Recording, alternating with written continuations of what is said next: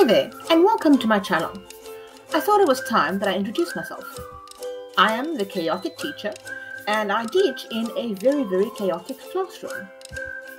I specialize in natural sciences and life sciences videos because that is what I qualified in.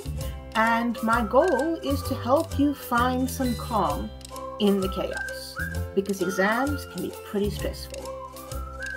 So the three type of videos that I like to make is short videos that explain one concept at a time, problem walkthroughs that help you to go through exam papers and questions so you can see what's expected of you during the exam, and flashcard practice videos that help you to consolidate and remember definitions and concepts. So if you find this helpful, like, subscribe and comment. And then I'll see you next time. Thank you for visiting the Chaotic Slaughter.